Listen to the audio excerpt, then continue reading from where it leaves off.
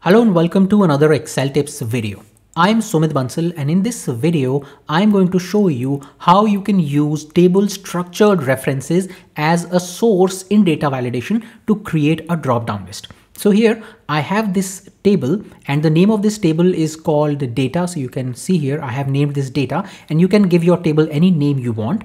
And then here I have this column for the regions and I want to create a drop down list for these regions. Now, if I just try and use the structured reference, so let me show you what is going to be the structured reference for this column. So if I select all these cells, you'll see that it refers it the name of the, the structured reference of this column is data and then regions in square bracket, which means data is the name of the table and then regions is the name of the column. So this is going to always refer to these, uh, these names. And if my table expands or contracts, this is going to automatically adjust. Now, if I try and use this to create a drop down list, see what happens. Let me go to the data tab and here I'm going to click on the data validation icon and here in this list I'm going to select list and in source I'm going to use the structured reference and now when I click OK you'll see that it doesn't allow me to create that drop down list. Now if for some reason I cannot use a, a range reference I want to use a structured reference of a table then let me show you three workarounds to do that. So the first workaround to use structured references within data validation list is by using the indirect function. So here, let me first use the indirect function.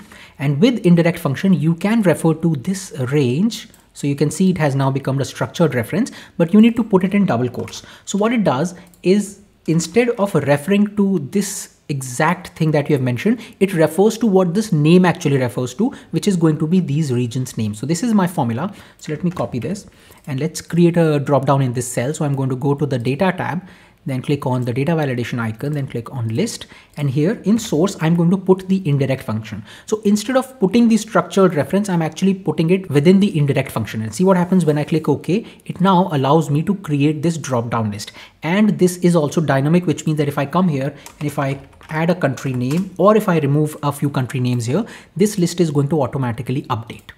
Also, this is going to work in any sheet. So if you have your table in this sheet and you want to create a drop down list in any other sheet, that is also going to work. Now, one important thing to know about this method is that it will break if you change the name of the table or the name of the column. So if you absolutely know that the name of the table or column is not going to change, then you can use this method. But if there is a possibility that there may be a change in the name, then you can use the second method I'm about to show you, which is using named ranges.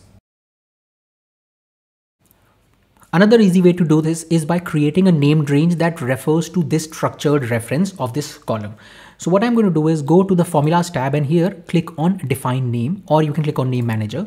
It opens the name manager here and then click on new and here within the new name dialog box I'm going to give this a name. So let's call this region drop down so region DD and within this I can just use this reference. So because I've already selected these cells, it automatically picks up the structured reference. Otherwise you can manually put it here.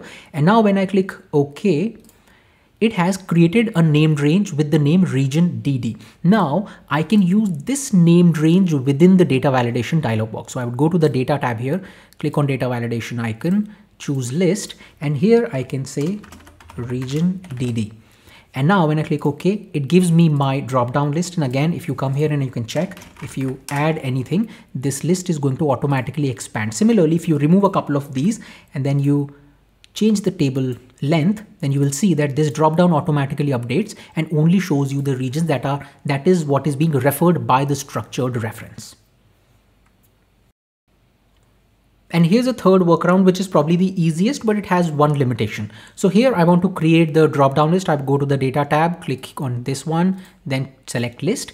And then I can simply select the cells that I want this uh, drop down to refer to. So you can see I have selected these cells. This is not a structured reference, but when I click OK, it is going to create the drop down list.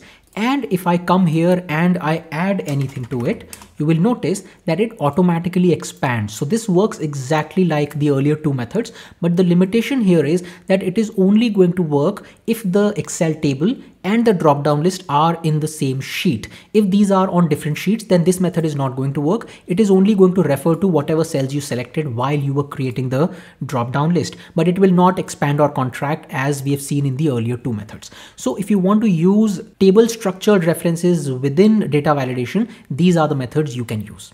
That's it in this video. I hope you found this useful. Also, if you're liking these videos, please subscribe to this YouTube channel and click on the bell icon so that you never miss out on any new Excel tips video I come up with. Thank you and have a nice day.